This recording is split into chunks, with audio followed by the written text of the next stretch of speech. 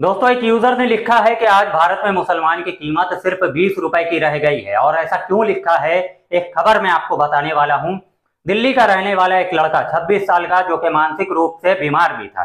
बीस रुपए की चोरी का आरोप लगाकर उसे खंबे से बांधकर इतना मारा गया उसे कि उसकी जान चली गई। आप इस तस्वीर को देख सकते हैं। तस्वीर मैंने ब्लर कर दिया है, क्योंकि यूट्यूब की कुछ गाइडलाइन से इसके वजह से ब्लर करना पड़ा।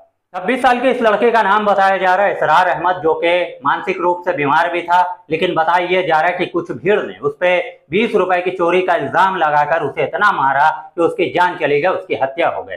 आज आप देख सकते हैं कि जस्टिस फॉर इसरार अहमद, ये हैश टैग ट्रेंड करवाया जा रहा है सोशल मीडिया पर। लेकिन वहीं, इसी के इलाके में रहने वाले कुछ लोकल लोगों ने क्या कहा है, ये जरा आप सुनिए, बता रहे हैं कि ना तो कोई नेता आया मिलने के लिए, ना तो कोई विधायक आया। ये एक अकेला घर का बच्चा था जो कमाने वाला था लेकिन उसे बीस रुपए का चोरी का इल्ज़ाम लगाकर उसे मार दिया गया। ये ना चार बहन है भाई भी नहीं है कोई भी नहीं है माँ भी नहीं है बेचारी होकर है बाप बूढ़े हो रहे हैं बेचारे।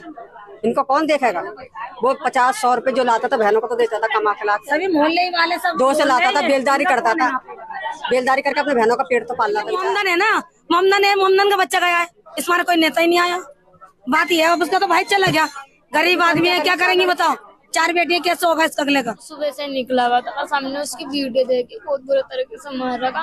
कोई नु कह रहा चोरी करी कोई कह रहा केला उठाया वहाँ में पता नहीं क्या करा उनने। उसके ऊपर इल्ज़ाम लगा रहे बस कुछ नहीं करा उनने। वीडियो भी देखी हमने तो कैमरे में देखा बस फ़ोन में उन्होंने स्टेज से छोड़ रखा वो वीडियो देखे इंस्टाग्राम पर उन्होंने वो छोड़ रखे तो वीडियो देखे हमारे। तो सुना आपने वहाँ के रहने वाले कुछ लोकल लोग हैं जो बता रहे हैं कि इसके मरने के बाद ना तो नेता आए मिलने ना ही विधायक क्योंकि मुसलमान है। और कोई होता तो अब तक हंगामा मच चुका होता, मीडिया वाले चिल्लाने लग चुके होते। पुलिस ने बताया कि मानसिक रूप से बीमार 26 वर्ष से इसरार अहमद पर 20 रुपए का चोरी का इल्ज़ाम लगाकर उसे दिल्ली की नंद नगरी में बताया गया कि उसे जान से मार दिया गया। खंबे से बांधकर इतना मारा गया कि उसकी मौत हो गई और आज आप देख सकते हैं कि परिवार वालों का क्या हालत है। तो जैसा कि इन्होंने लिखा है, जैसा कि मैंने आपको बताया भी कि बीस रुपए की कीमत रह गई है मुसलमानों की। और आप अपनी राय ज़रूर दीजिए इस खबर के बारे में, जिस तरीके से आपको ये खबरें देखने को मिल रही है मॉब लिंचिंग जो बढ़ता चला जा रहा है। इसके बारे में आप अपनी राय कमेंट बॉक्स में ज़रूर दीजिए, मिलते हैं आपसे अगले वीडियो में।